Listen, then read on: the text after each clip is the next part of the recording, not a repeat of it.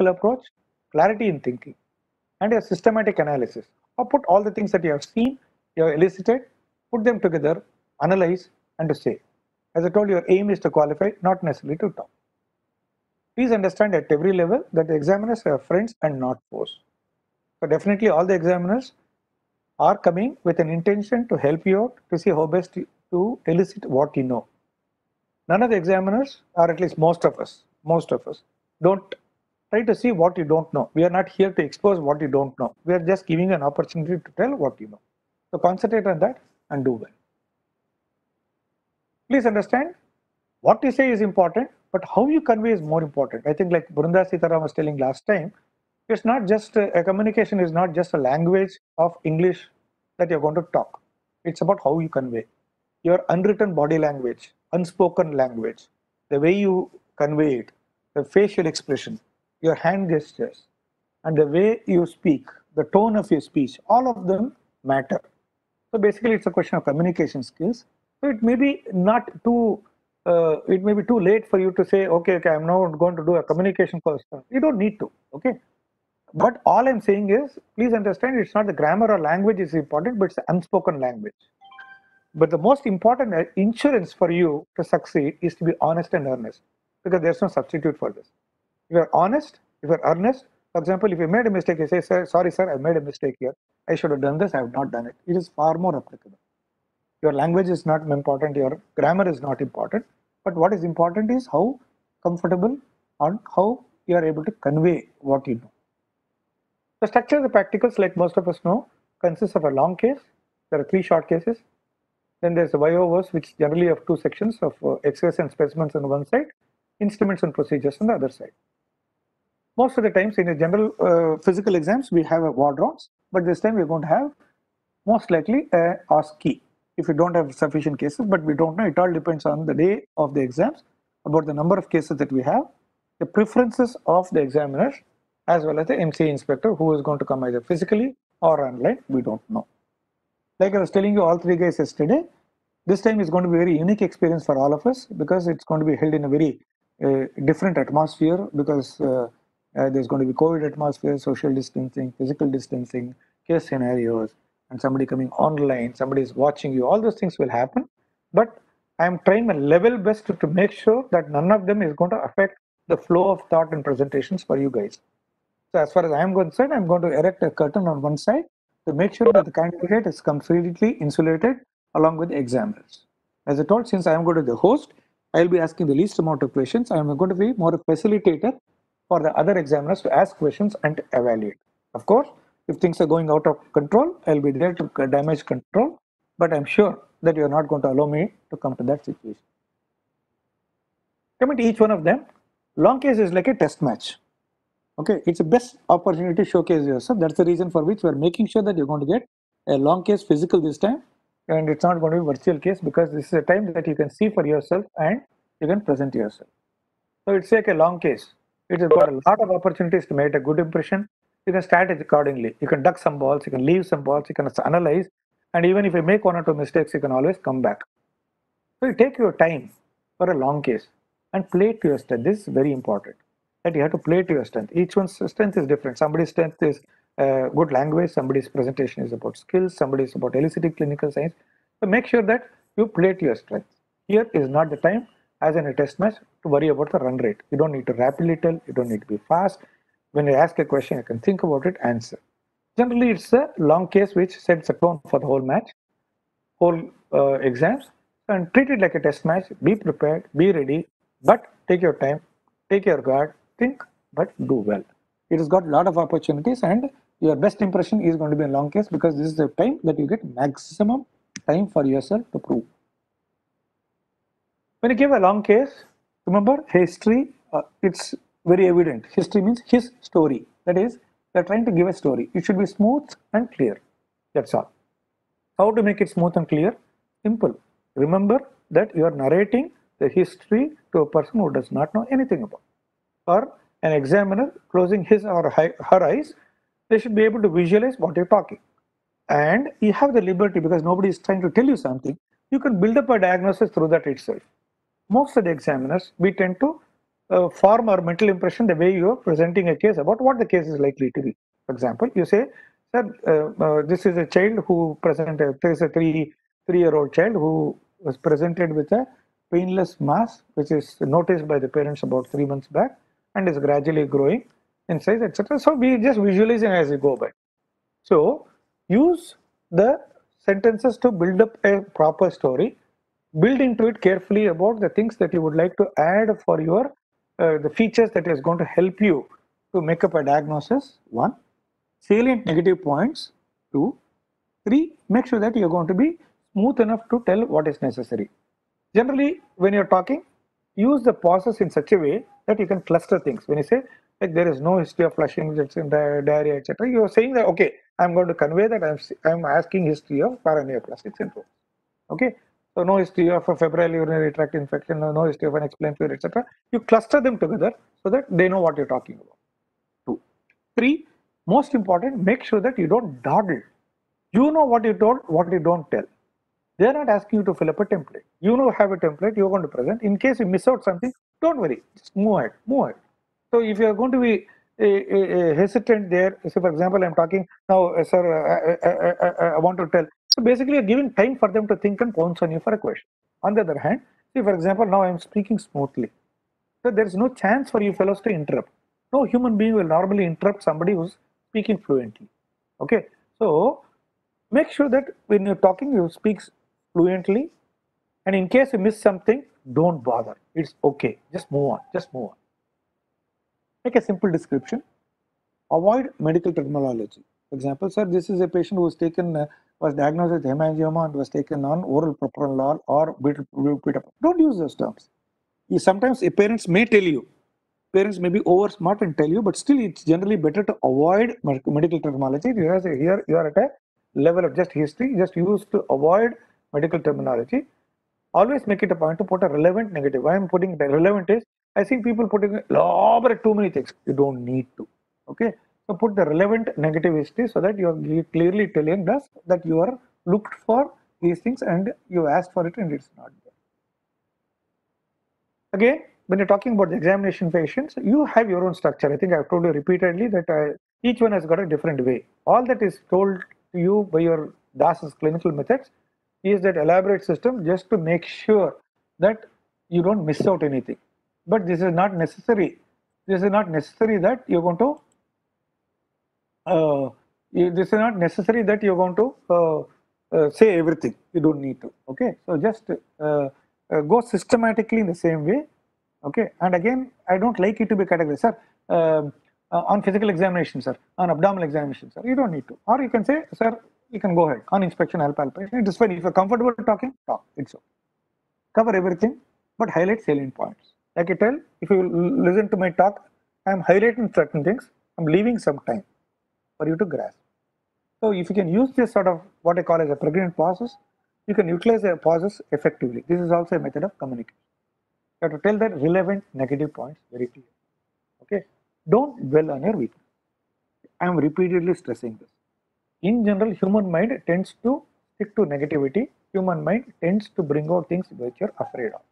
For example, if you got a lump, you are not too sure it is bilateral or bilaterally palpable. If it keeps on thinking about it repeatedly, you're going to blurt it out and you're going to ask, get hammered in it. Don't need to. So clear about what it is and say something and be clear. Don't invite trouble. As I told, don't say something which you cannot justify. Don't say something which you have not seen or convinced. Don't invite trouble. Because many times, as I told, it all depends on how you end this sentence that the next question comes. So if you end a question with something you know well, very likely that the next question is going to be on that. On the other hand, you say something which you don't know, then you will come back. For example, sir, this child's uh, uh, weight is 4.4 kg, sir. Uh, I don't know the what the age should be. Then the next question is going to be on that. On the other hand, if I confidently say, sir, this is by 95th percentile, and then they're going to say, how do you know about 95th percentile? So it's a question of, that's where I said it's a battle of wits, game of wits. Okay. So actually, if you're smart enough, if you're cool, if you're comfortable, if you have presence of mind, if you have enough command on the language, in fact, you can dictate the examiners how to take the next question forward. But anyway, that's it, the next level. That's not our interest. But most important point is don't invite trouble by blurting out things about which you do not know. Clear.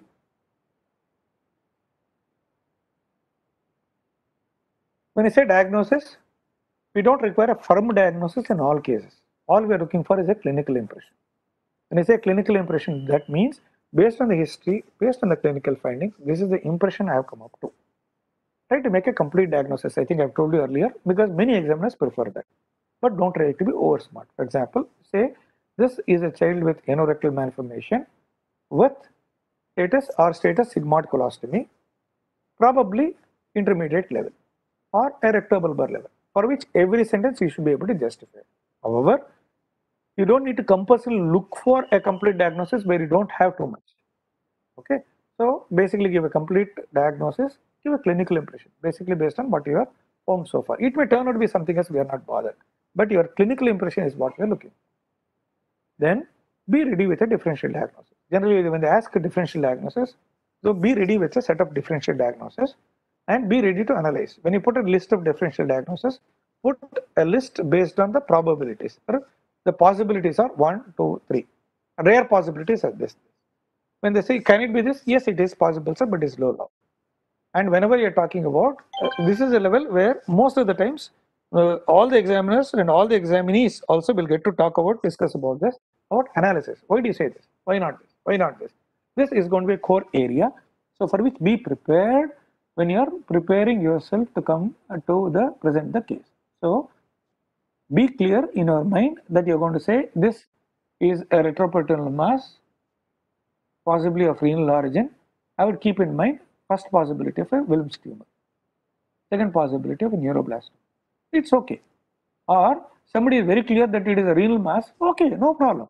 Okay, if you're convinced, sir, this is a renal neoplasm on the right side with no evident metastasis, clinically evident metastasis. So I feel it is a Wilms tumor given the age. Fair enough.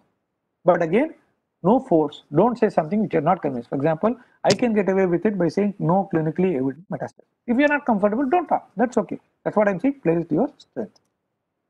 You're able to analyze.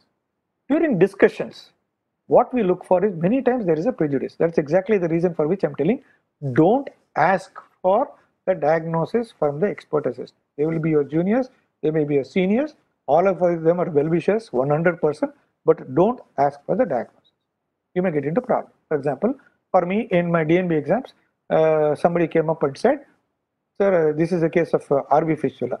I thought it is a rectovestibular fistula, presented that way. Finally, turned out to be rectovaginal fistula, and Dr. M.M. Reddy, who had operated the case, was the exam.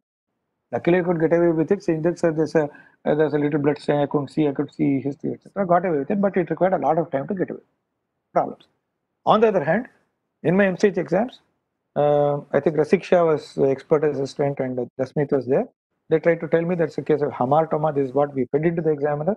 But on the other hand, I felt it was a hemangioma because a central lesion, I could see something. So I presented something which was different to what was fed to the examiner. They came and saw, they uh, concurred with me and finally ended up getting a medal. So what I am saying is it's better not to be prejudiced by the diagnosis given by somebody. One, what we're looking for is a clinical approach. We don't need to be dogmatic we are not bothered about the final diagnosis being right or wrong. But if your approach systematically and if your logical analysis is right, you are happy. Your tips are very clear that you have to be assertive in your exams uh, when you're speaking, but not abrasive. For example, you say, Sir, I sincerely, I mean, or rather, I feel this is a case of Wilms tumor, sir. On the other hand, no, sir, this can't be anything else. This has to be Wilms tumor. No, you don't need to be irritant at all. So make sure that you're not abrasive, but you're assertive. Similarly, you have to be confident but not arrogant. Looks as a tall order, but not. When people ask, ask answer to the point. Particularly Sridhar, they have an issue. Okay. So when they ask, you don't put a Google search in your mind. Okay. They say, what you think are possibilities? You say, sir, I feel one, two, three. Why do you think it is not there? It is not there because one, two, three. Answer to the point. Many people are so uh, eager to answer the next question. For example, if they say, ballotability. So they think the next question is likely to be that it can be, sir, can something be bimanually palpable and ballotable together? So they're trying to say, sir, it is ballotable but not bimanually. You get into next question, one, you're thwarting the examiner, you're irritating him or her. And number three, you're, uh, you're letting go of a golden opportunity of the possible next question for which you know the answer. So just answer to the point.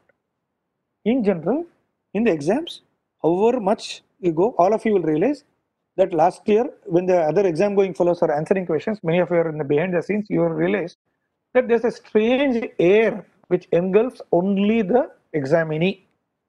Generally, they become tongue tied. They're really looking for schools, I mean, uh, clues. They're looking forward for something. They suddenly get tongue tied. The tongues are dry. The hands are palpitating. This happens. Okay, so relax. It is okay. Okay, everybody else in the uh, hall will be knowing what we are trying to drive at, but finally somehow that fellow may not be getting it.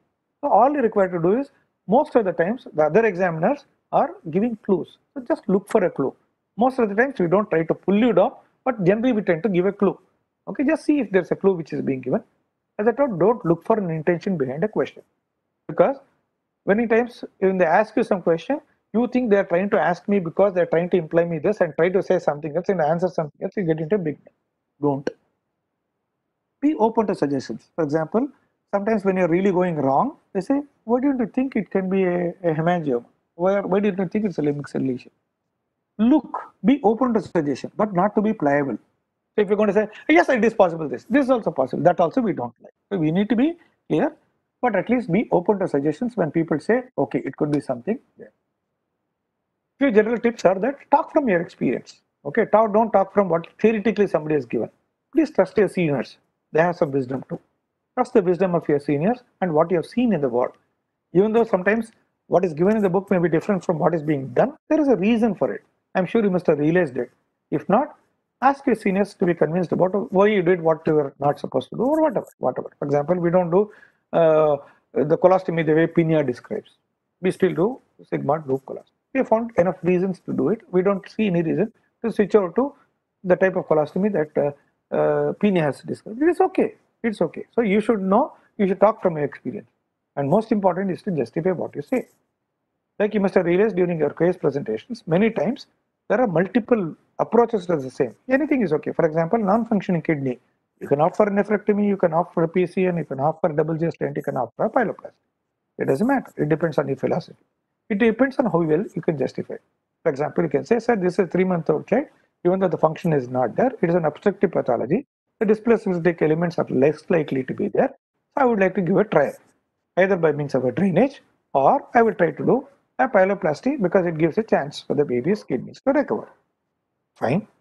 Or you say, I will give a trial of putting a stent or a PCN to wait for the uh, to see assess the functions improvement and I will talk to the parents and come back, they accept it. Or you say, sir, this is a VUR, dysplastic kidney, has got a 0% function or a 5% function, which is unlikely to improve, and the child is already having repeated urine infection so I would prefer to go ahead and do an nephrectomy. It's fine. Even though I'm giving complete classical straight-jacketed diagnosis where uh, the situations where the, uh, the management is option, many times you have gray areas. So it all depends on how you can justify what you say. It doesn't matter. Okay. So it depends on your philosophy as well as what you have seen and you say. And uh, most of the examiners prefer to say that you we will counsel the parents we will discuss and come back. But however be ready with one more rider. Because in the fact of matter when you counsel the parents finally it all depends on how you counsel them. You can counsel them to agree to a or b. So be ready with another point saying okay give given a choice what would you prefer? Sometimes they may say okay i'm the father. Now tell me what you feel. How we are going to counsel? So be ready. Because i'm sure all of you have counseled parents enough that you can get it be able to justify what you say. Don't overcomplicate matters. Don't try to quote studies. Because if you quote one study, somebody else may quote some other study. Sir, according to a study conducted in 1995, uh, only 5% of kidneys improve or something. We don't want. Okay. Don't overcomplicate. Don't try to do something more. Nobody likes over smart people. Smart Alex are not appreciated. So, a simple clear. Sir, significant percentage, 20%, approximately 10%. Okay. So 21.8% will irritate people. You don't need to. Okay. Because there are going to be other. So don't overcomplicate, don't overcode things. Similarly, always remember safety first is important. For example, if you say, I got a child with Hirschsprung's, I will do a rectal biopsy to confirm the diagnosis before subjecting the child to colostomy is a perfectly acceptable answer. Okay, for example, I may not be willing to do a uh, rectal biopsy if the clinical picture is classical, X-ray picture is classical, I may still go ahead. But if a candidate says, I would do a rectal biopsy to be doubly sure. I will not interfere. Okay, so always go for safety. For example, they say, would you like to do one stage pull through for Hirschsprung's? Yes, sir. I've seen it being done. However, I'm not comfortable doing it because I'm not. Uh, uh, I'm not comfortable doing, sir. I would still do a stage procedure. It's perfectly acceptable answer. So safety of the patient is important than somebody saying gung approach of saying, sir, no, sir, I will do one stage repair, sir. Complications are negligible, sir. No, we don't accept. All right. Be aware of department protocols because even the examiners may be differing, but most of the examiners, 95% of the examiners will concur with you if you're going to say what you've been practicing. But if you don't know what you're practicing in the unit and you say something, you're gone. Most of the times they ask the internal examiners, we tend to ask the internal examiners, what okay, I mean, what is it being followed? Okay, do vesic, do vesicostomies for all patients. Somebody says, no, we do vesicostomies, acceptable. Somebody says, we don't do vesicostomies, do ureterostomy, acceptable. It may be contradictory to what I feel, but if you're following what your department has done, generally gone. I mean, it is accepted. It goes. So be aware of your department protocols about what you do at each level. There may always be a variation in a given case. So don't make that exception the rule in a given case, you might have seen some consultant do something different, but that's not the rule. Okay. When it comes to short case, it is just like an OD match. Okay. So here there is limited strains, limited number of hours, limited time to present, limited times to make your impression, but again, very less chance for you to come back. So if you make a mistake, you're likely to pay dearly for it. So think and take. Generally, we tend to give three cases together. So choose order of presentation. Make sure that the first case that you present is something which is simple, straightforward, but has got sufficient uh, things to discuss. Okay. Keep controversial cases last. For example, if you have a DSD case, keep it in the last because in any given DSD, if there are four people, there may be eight opinions. Okay, in a management in a, a, any given case. So better to keep the controversial cases last. Similarly, keep very straightforward cases with much less for discussion also to the last. For example, if you're given a case of an inguinal hernia, umbilical hernia, undescended testis, okay, keep them in the last because even though the diagnosis is straightforward, there are two uh, less things to discuss. So you don't know where the discussion will digress. It may go to embryology, it may go to uh, some uh, CG, RP, etc. So don't go. So generally try to, it's a question of a given day how to handle it. So make sure that you present the best of the short cases first and the next and the next. All these cases you should be ready for a, brief history. You should be able to elicit positive and the negative points to be taken. So if they ask you, okay, what is this case? You generally start off with history. But if the brochure said, so oh, no, I don't want history, tell me the findings, go ahead with the findings. As I told you, you have to play by the ball which comes. You can't have a premeditated approach to this. Okay. Describe the local findings accurately. That is very important. Okay. Try to describe the accurately the findings. Say, sir, this is a well circumscribed lesion on the left forearm, measuring sound and so on. So whatever. and talk about relevant systemic examination. But here you don't need to elaborately say, but sir, the height is this and weight is this, unless that is relevant to the case that is being discussed.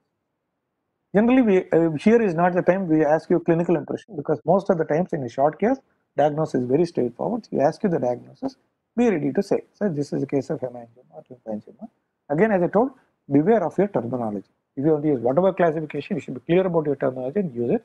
Don't play a football match like hemangioma. What type of hemangioma? Okay, this is involutive. No, sir. It's whatever. So be clear about your terminology and say, and basically we will ask you about approach. We will not be too elaborate about it. Okay, for example, you say hemangioma, what will you choose? They may ask you about propranolol. Okay, a trial of propranolol. They may ask you the dose. Okay, so why don't steroids? You should be able to tell or why not the why don't wait and watch? So you should be able to take. so generally we look at the approach to take. As compared to the other two viva voce or the tables is like a t20 okay? If you are short of time running through. So your technique preparation helps you but how do you face each ball is what is matter. Because you may not have sufficient balls to face but you just have to finish it.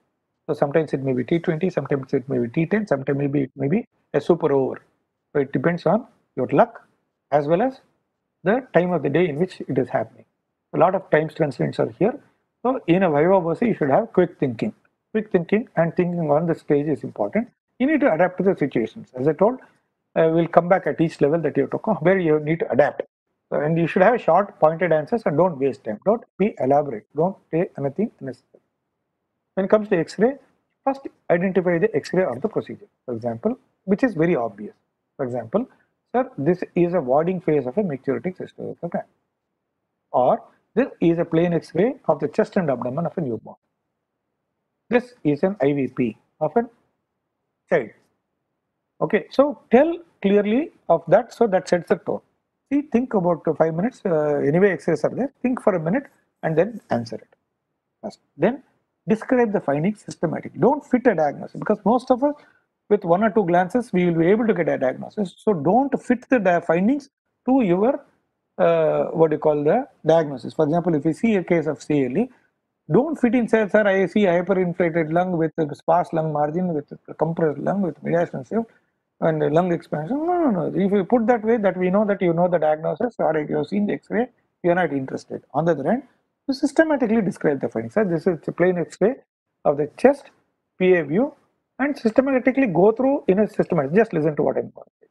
So this is a plain X-ray of the chest uh, of a child. Uh, the visualized bony cage is normal, centering is normal, the spine appears normal, the heart the, is in the center, it looks okay, and uh, there seems to be hyperlucence in the left upper chest, and uh, it looks like uh, a hyperinflated lung with sparse lung margins. There's no lung collapsed lung margin seen, the diaphragm seen. So if you go systematically, one, you're leading to a diagnosis. Most important, you're conveying to the examiner that you're going systematic. This is what we like. We don't interest in the diagnosis. Don't jump to the diagnosis. All right. Because you state your clinical impression. So finally, they ask you what it is, sir. This shows hyperinflated lung with mediastinal shift with sparse lung margins. So most likely, this looks like a unilobar emphysema affecting the left upper lobe. First class. Okay, and then the L probable diagnosis. Then they ask you what is what next will you do? B pointed answers. Okay, here is a question of like I told, it's going to be T20 or even T20 or T5 or super over. I don't know. Whatever comes, take it and go ahead. So face it as it comes. So what is the next question? What is investigation? What will you do? What will you avoid? So generally that's how the questions will be. A pointed question, pointed answer. What you'll avoid in a CLE, it will be ready to answer. So I will not avoid preoperative bronchoscopy. That way. All right.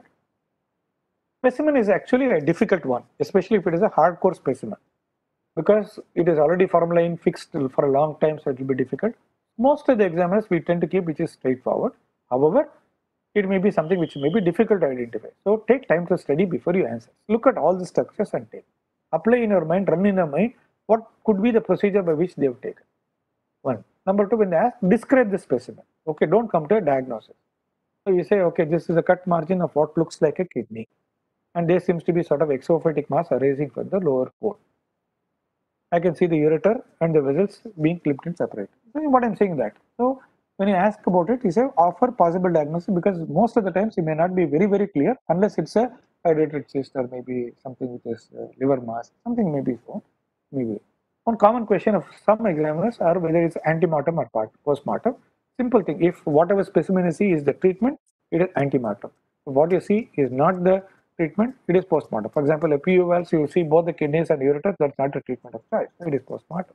On the other hand, you see Wilms tumor specimen, it is an antemortem. Again, brief answers. So generally they ask you only one or two questions related to this and move on. Be ready to give brief answers to brief questions. When it comes to instrument, describe the instrument. You say, sir, this, and generally avoid to use loose terms. For example, uh, sir, this is artery forceps. No, instead you say, sir, this is Spencer-Wells hemostat, curved hemostat, straight hemostat. Okay, it will make a difference if you can make it. If you don't, don't look for it. Don't look for it. Okay. For example, for me, you say mosquito forceps is far better than you uh, struggling around for five minutes and say something which is not relevant. Then you get it. Use eponyms. That means the names of people if you are very sure about. Like I said, Halsted, Kocher's clamp, Ikeda clamp, something, something. If you can tell clearly, use those eponyms. If you are not too sure, don't need to say. Generally, they ask you about the functions and uses. Say, sir, this is used to grasp the soft tissues. This is able to take this thing. This is helping, etc. They're going to ask. Then they will ask you about surgeries when they ask, sir, I have seen it being used in this. I have used seen it being used for dissecting uh, dissecting the organs for blunt dissection, for uh, uh, hemostasis, for uh, marking results, for crushing things, whatever, whatever. Okay. They may ask you what are the typical surgeries. So be ready in your mind when they say where have you seen it being used, or they may ask you where have you seen it. So be ready. For example, it's a Finochietto because I have seen it for lung surgery in newborn cases. The common cases that I've seen is esophageal atresia. Sometimes I've seen about uh, uh, emphysema or whatever you have seen, be ready to say. Generally, there will be scopes, cystoscope, resectoscope, bronchoscopes. So generally, they will be watching how you handle the scopes. Make sure that you can't handle the scopes well. Don't be rough.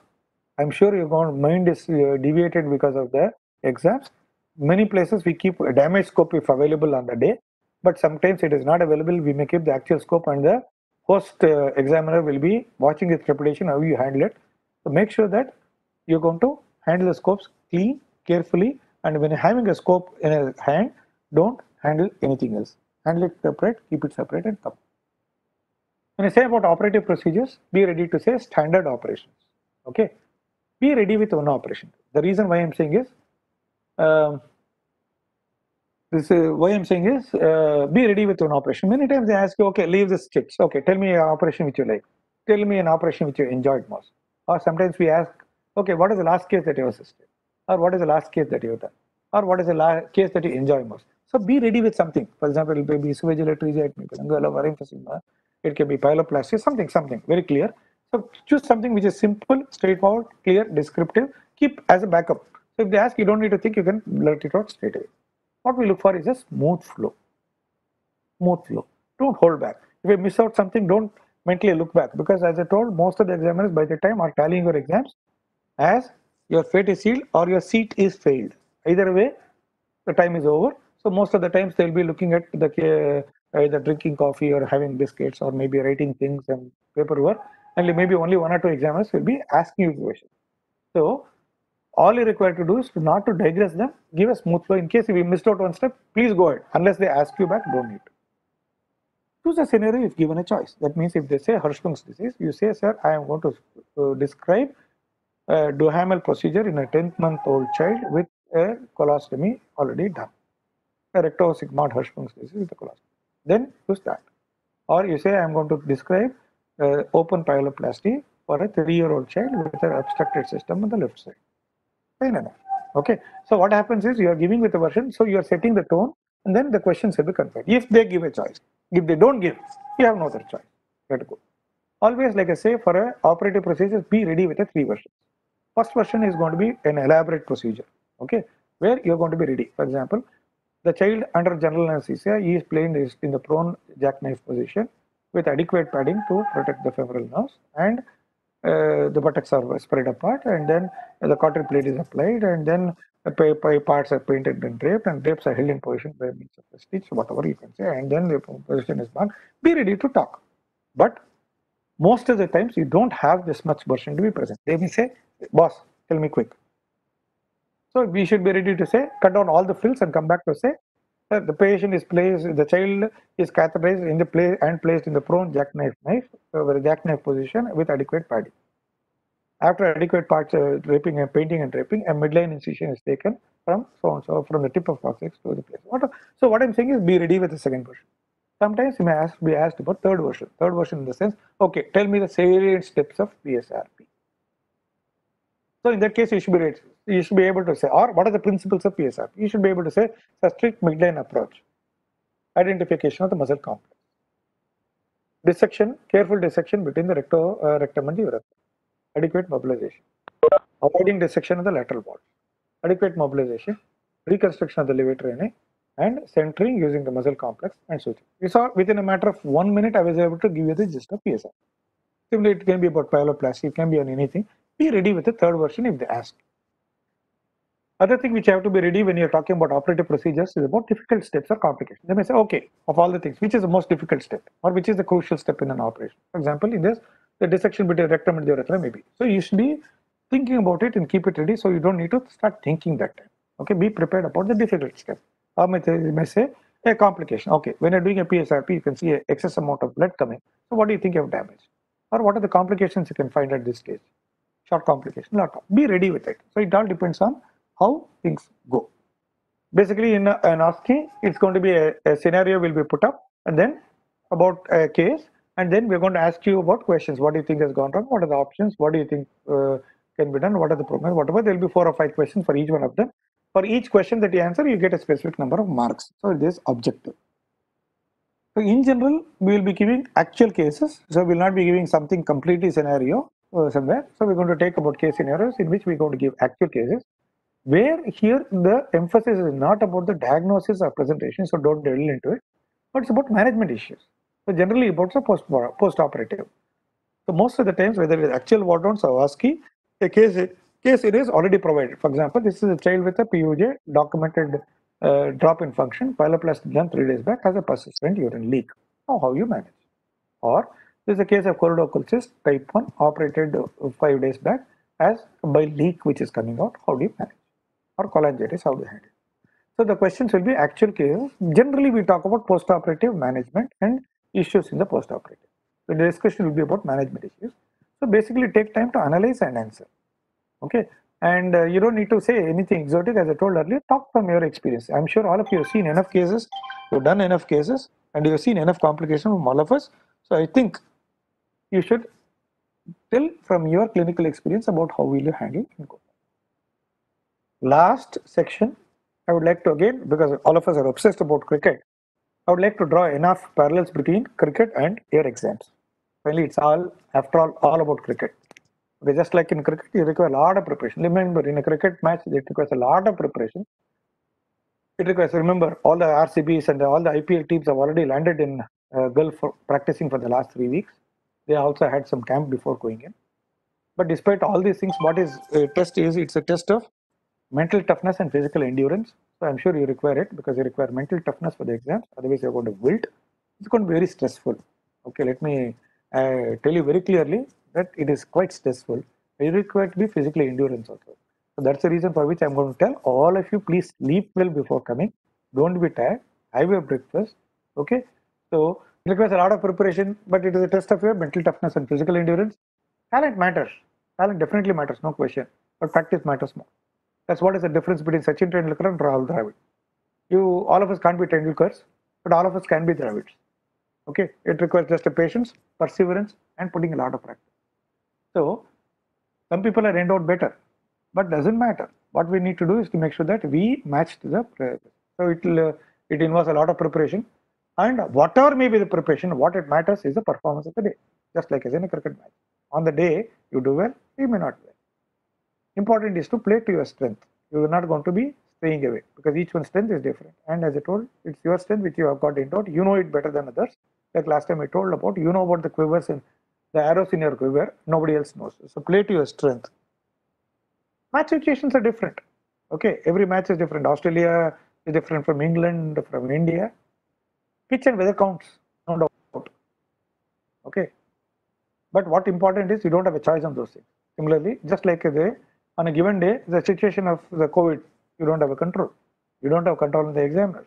You don't have a control on the case that is available that day. You don't have a control on the timing of the day.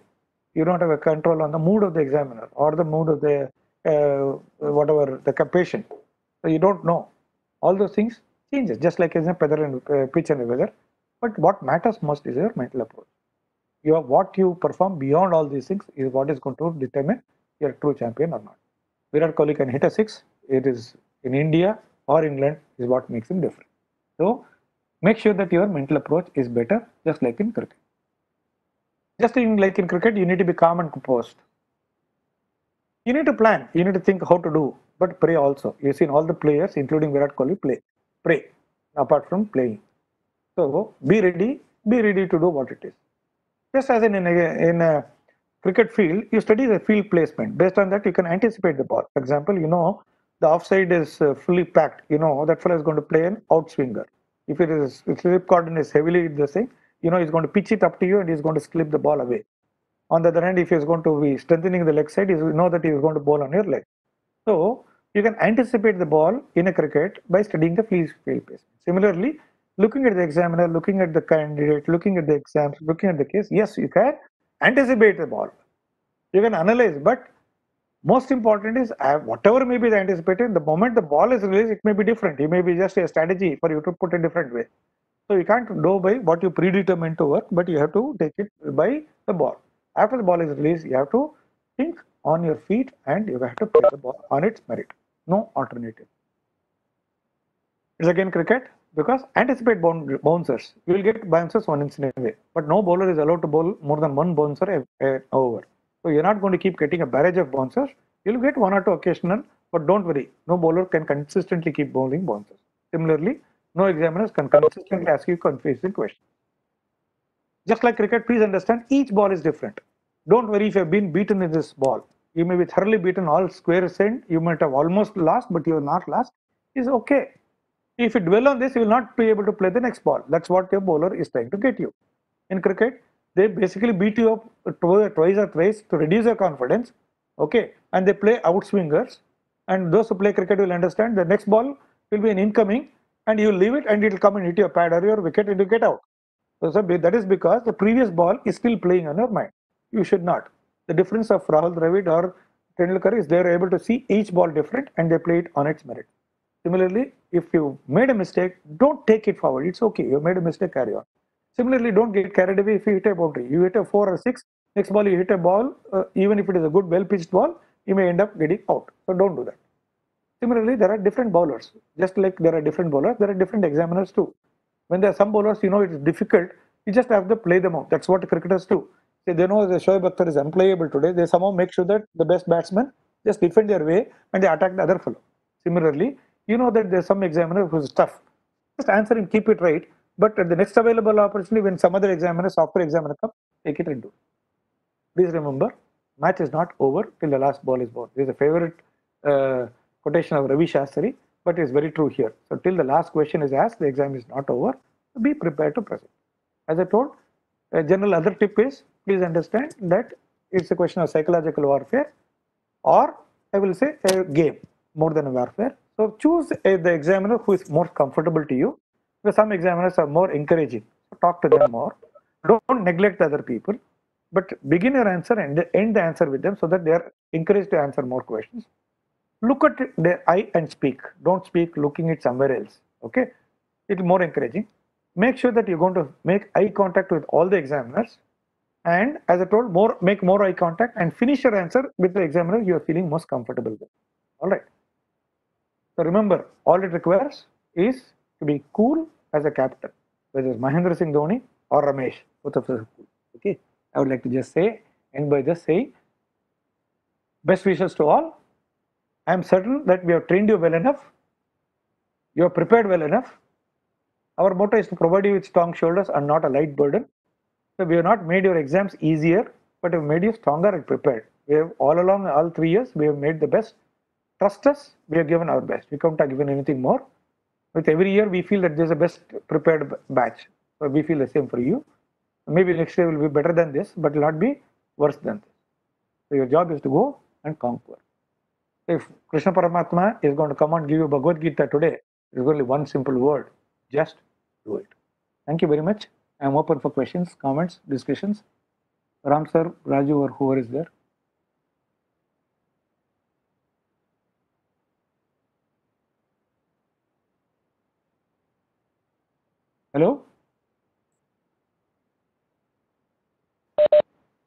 Yes, sir, we can hear, sir. No, uh, the presentation got over because it shows me that it has gone off. But the entire presentation came? Yes, sir. Everything came. Okay, fine. So any questions, comments, suggestions? I hope it was useful. Yes, sir. Yes, sir. Yeah, it was very good, Ramesh. Thank you very much. Even I learned a lot from that. but you have to give one more talk about how to face life, sir. life. no, the thing is, uh, are they allowed to carry a clipboard and uh, paper yes, and sir. pen into the we exam? will give, sir. We will give, sir. Okay. We will give. We'll give a clipboard because and paper. and pen. I, I I urge the the candidates to make a generous use of the clipboard and the um, papers because that gives you a lot of uh, you know uh, encouragement to put your thoughts in order. So that is what I did uh, during my exams. So better is to write down all your uh, whatever you are thinking uh, into the paper Yes. you know uh, other than all the usual things history examination and all the all those things what are the points you think are important to be stressed you can write down on one side Okay. and um, i think that helps a lot in boosting the confidence of the examinee if you have uh, one uh, clipboard and uh, pen in your hand because it makes you less nervous when you face an exam Very true. As an extension, please make sure that you write the salient points of your history and physical findings and your diagnosis and differential diagnosis because even if you miss out talking, if you are written there on the paper, it will come. Most of the examiners will allow you to have your clipboard and your uh, papers with you when you're presenting. So don't worry. Yeah, and said, make it a also. Yes, sir. also when you're when you're answering, uh, you can write down what you're answering so that uh, you Yeah. know you know how your flow of thoughts is. So that makes you again more confident when you're answering. If you write down what you're answering, you can write down in abbreviated form also if you want, Yes. because the examiners don't insist on taking the paper from you. They won't take it. Uh, but in uh, some universities they have the habit of uh, asking the examiner to write uh, about the particular uh, aspect of the like a long case or short case candidate wise on a sheet of paper and submit it to the university some universities had it when i took the exam yes, sir. as a as a piece of evidence i don't know how it is now No, here what we do is we give the paper in which you're going to, or actually there is a answer script from the university itself in which they are supposed to enter the register number, they're supposed to Okay. sign, they are supposed to fill up something. It cannot be blank. okay okay Uh, Raju Sauji? No, he left the meeting. Okay, any other questions or a suggestion from anybody? Otherwise, we'll wind up. Other thing is, uh, you know, uh, make yourself very pleasant in the sense that, as uh, Dr. Ramesh told, uh, have a good breakfast, your regular breakfast, what you have, preferably from home if it is possible. Otherwise, from the hostel, whatever food you normally eat. Shave nice, shave properly so that you present yourself well. Groom your hair. Uh, you smell nice and uh, wear, uh, you know, nicely ironed clothes, and uh, you should look nice when you go to the exam Please wear a food. that uh, also shoes gives you a lot of uh, Yeah, very that true, also sir. gives you a lot of uh, self assurance Yes, sir. Yes. First, you need to feel good about yourself before others Yeah. feel good about you. yeah Anything else from anybody? Otherwise, we'll wind up. The exam goers, man, come on. Either Jaggu Venkatesh. Yes. Sir, Thank you, sir. Thank you, sir. Okay. We will try our best, sir. Okay. Best of luck and do well. Yeah. Don't worry. I'm sure you're going to all the best all the best to all of you And All I the think best. Thank talking you, enough. Enough toxic. I think it's high time to go on. Just do it. Okay. Best of luck. Thank you, sir. Thank you, sir. Thank